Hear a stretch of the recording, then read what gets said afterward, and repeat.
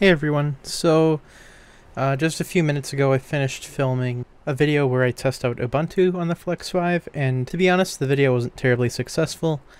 Um, Ubuntu wasn't a very good experience uh, and just in general didn't work uh, as much as I'd like it to. After watching the Ubuntu segment of this video let me know if there's anything you'd like me to test uh, in the future with Ubuntu, but in the meantime, let's cover something else that people might find more interesting. Basically, one of the complaints I've been seeing in the comments is that the Flex 5 only has one display out. That kind of sucks for people that want to have a multi-monitor setup outside of the internal display. However, certain tech companies have come up with a solution, and that solution is basically one of these. You can see it's a USB 3.0 uh, HDMI dongle, and it's Type A. And you may be wondering, well, how the heck does that work? Uh, basically, what this adapter does is it plugs in. Uh, you When you plug it in, you'll get basically a flash drive pop-up, and it'll have a driver install in there. So you just run the driver install and reboot your computer. And then when you have it rebooted, you can just simply take this, plug it into the USB port of the computer, or alternatively, you could get a DC barrel for the laptop and get a USB-C to Type A and plug that Type A connector into the adapter and then into the USB-C port on this side of the device. So in this instance, I already have the driver installed because I tested this beforehand. Um, yeah, so we have this HDMI port here now. So I'm going to unplug the camera. You can see no signal right now. And I'll plug HDMI into the adapter. And we appear to have some sort of weird artifacting here. One second, let me try that again. One more time to see if it works this time. There we go. Okay, yep, so now if I go over here, yep, you can see we have my display here. I'll right click and I'll go to display settings and I'll hit identify. You can see this is 2 and I'll drag this box over from my Flex 5.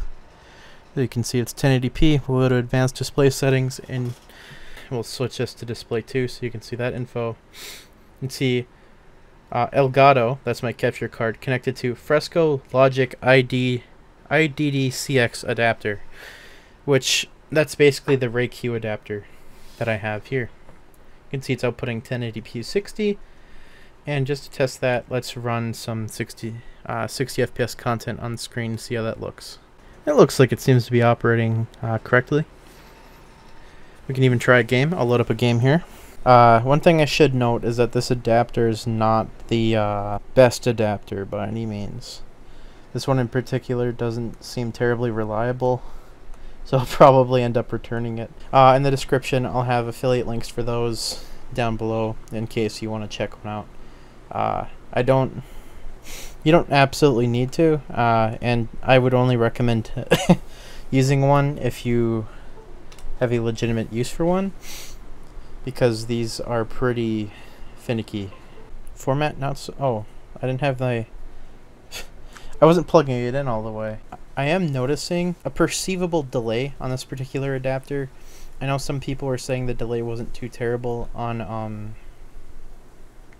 the uh, nicer adapters I looked at, but I can definitely tell that this is not like instantaneous by any means. For instance, I'll um I'll point my mic down at the keyboard, and I'll turn the gain up, and you can hear when I hit the key.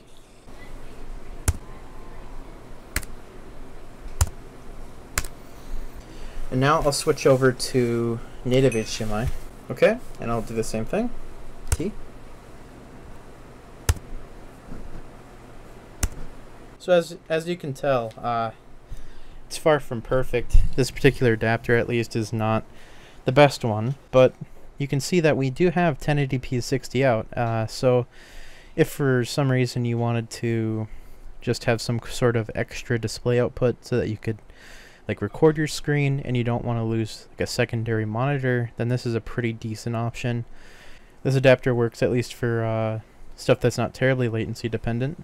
Uh, we can try loading up a YouTube video. Yeah, okay, so it does seem to be yeah, the latency on the video is not super good. Uh, it does seem to be a bit behind where it should be, but again, this this adapter was about the cheapest one I could find that wasn't reviewed like doesn't work garbage. So Uh, yeah, I'll point you to one that actually has reputable reviews. It's likely going to be pretty expensive, but you can't spend another like 100 or 150 bucks, uh, or you just can't find another machine that fits your needs better than the Flex 5, then something like a USB 3.0 to HDMI adapter might be your best bet. Otherwise, the video will continue on to the Ubuntu portion now. So if you're interested in that, you can check that out. Otherwise, you can check the affiliate links below for a link to buy the Flex 5, as well as uh, an adapter that I'd recommend trying out. The links will both be in the description. So today we're going to be taking a look at Ubuntu and seeing how it runs on this machine. What I've got here is a NVMe SSD on an external bay that I'm just going to be installing Ubuntu onto. Um, I'm not going to comment much on how snappy the system is because, again, it's over this kind of crappy um, external drive, but that won't impact actual system functionality very much, so it's nothing to worry about. so what I'm going to do is I'm just going to load up the latest Ubuntu ISO, and we're going to flash it onto my little disk here. Alright, so now let's reboot onto the boot disk here on that little flash drive. Let's reboot onto it. Now press power and start hitting F12.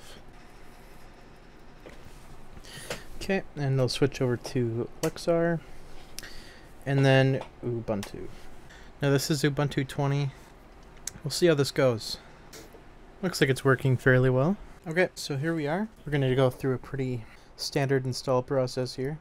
Yep, okay, download updates, install third party, everything's been partitioned out and we're just gonna install Ubuntu now. We'll see how this goes. Okay, so the install's done, so we'll just restart. Yep, there we go, rebooting Ubuntu.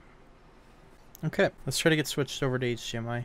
Yeah, I'm not having much luck finding info on if there's any integrated graphics drivers for the Ryzen 4000 uh, CPUs for Ubuntu, so unfortunately we'll be external camera only while testing this. See if I can even get the display brightness to go down. No, not properly. Anything that is uh, going down will pretty much black it out. Up will bring uh, pull it up, but yeah, it doesn't seem to be working entirely correctly, unfortunately. Uh, let's see if I can get see if GIMP's installed. I don't know if Ubuntu comes... I don't believe it does. I'll have to probably load that on. We might as well check settings.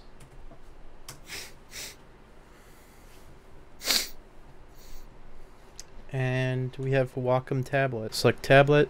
It says no tablet detected. It also says no stylus. Does the touchscreen work? Yep. Let me grab the stylus.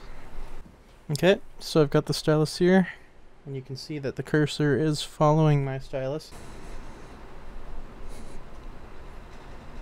So that's good. I've installed GIMP, so let's load up GIMP. Thing worth noting, the uh, touchpad and keyboard work pretty much perfectly. Can scroll easily on the touchpad. Uh, typing has been working fine. Can also check the volume Yep. Speakers are working. Let's test uh, YouTube. Are you ready for a better broker? Tastyworks is the award-winning... Yep, okay, so the speakers are definitely working fine. So I'll just create a new thing here. Select the paintbrush. And let's see.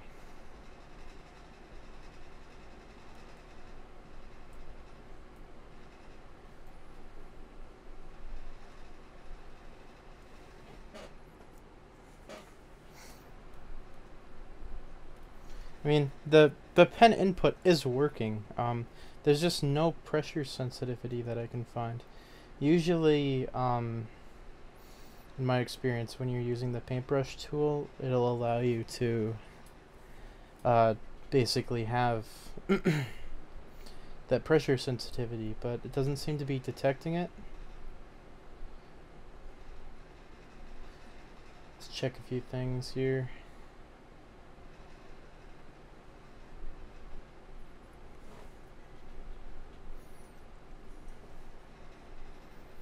Input devices.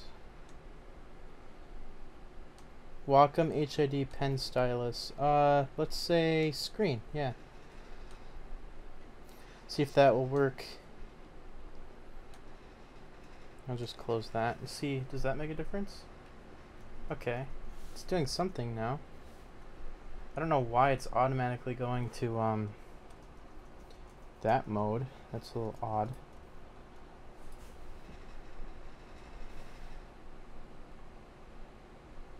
It's still not doing pressure sensitivity. Uh, we'll go back to input devices.